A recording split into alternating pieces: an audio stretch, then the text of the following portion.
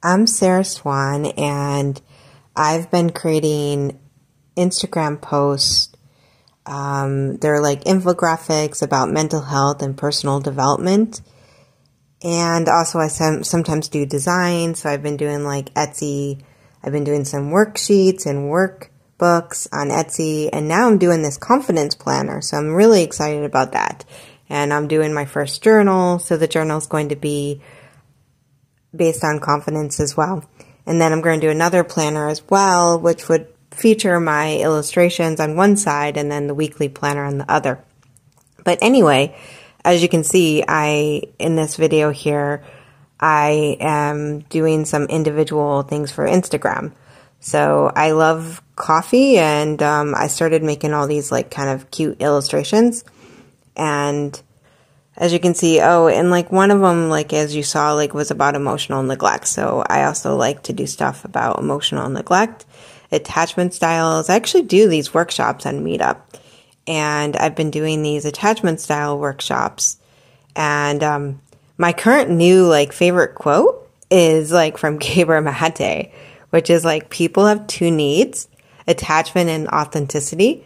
When authenticity threatens attachment, attachment trumps authenticity. For that, what that means is that when, let's say, a baby um, is guaranteed, like they're able to get safety by attaching, because you know, as babies, we need we need someone. But um, if let's say our authenticity threatens that attachment, then authenticity gets thrown out the door.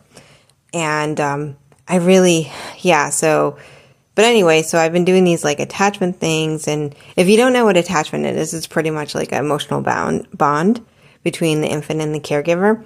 And it's our coping mechanism. Out of all mammals, we're the most helpless. And um, we can go into it later, but there's four attachment styles. As you see too, I've been working on like somatic stuff. So there's like the behavior in the body wheel. I also have another one that's sensations in the body. So it's not just, and then of course I have the emotional wheel as well. Um, because that's also just as important as healing whatever you're trying to heal. Um, it's to be present in the body and to feel safe in the body. Oh, and some of these I actually haven't posted yet on my Instagram. So if you're watching this before I post, you might actually be seeing stuff that I haven't posted yet. So, and I like to, with these Instagram things, I actually like to be at least 30 days ahead of time. Sometimes it's more than that. So, yeah. Um, with this too, I was also working on the fight or flight. So I don't know how familiar you are with PTSD or CPTSD. So CPTSD is complex um, PTSD, post traumatic stress disorder. It means you have multiple traumas because you have little t traumas, which happen multiple times over time. And then you also have big T traumas that happen maybe once and it has like a really emotional, like, it has like this huge emotional response in your body or you feel unsafe based on that one event. And so, anyways, um, fight, flight, freeze, fawn are four of the responses. Pete Walker, by the way, is really good to check out if you're interested in stuff like that.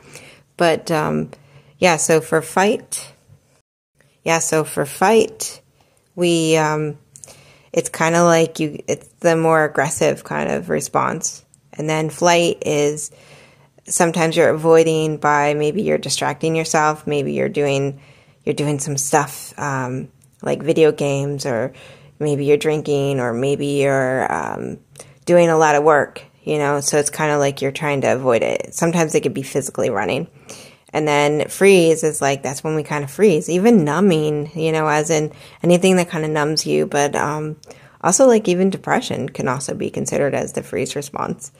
And and then of course you have um, fawn, which is under codependency, kind of people pleasing, where that's the last that's that's one of the last things you can do. Um, and it's just really interesting. The more I study about polyvagal theory and somatic um, there's just so much. But um, yeah, and then now you see like the RAS. So the RAS is the reticular activating system.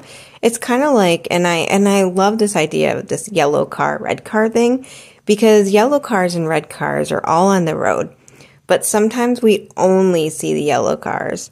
Right? This is like, let's say we believe we're not good enough. Well, we're only going to find evidence that we're not good enough.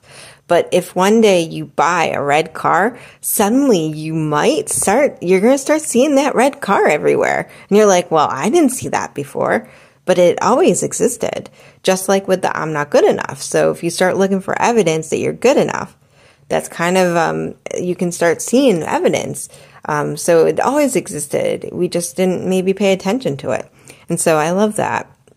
And then as you see right here, I have stuff about the scarcity mindset and how to do reframes. I also do other reframes, like other how to reframe. I don't believe in affirmations, but I do believe that you can kind of go a step up. So if you do like affirmations, a good hint to do affirmations is let's say you believe you're not good enough. Well, rather than going to, I'm good enough, right? Um, it might be too much of a stretch. So you can say, well, I'm getting a little bit better each day, or I'm doing 1% better each day, you know, so then you're going up in steps. And um, yeah, that's pretty much all I have for today. And I love my little bees and my sandcastles. And I would like to start making stickers. I think that'd be really cool to start making like mental health or personal development stickers. So um, look out for that. Like I'm starting to figure out like what I want to do. Plus, I'm a coach, so I actually um, I coach people in relationships. But I would like to start coaching people like artists, um, maybe designers, illustrators, that kind of thing. People that kind of like me had a lot of artwork and a lot of skill, but kind of was afraid or didn't feel confident enough or felt like a lot of self doubt or imposter syndrome. So, yeah, anyway, look forward to that. And um, hopefully, this is not too long. And so, this is me. And if you like it, um, like or subscribe or share it to other people. And um, thank you for listening. And I know I'll get better as I as I go. So, yeah. So, thank you.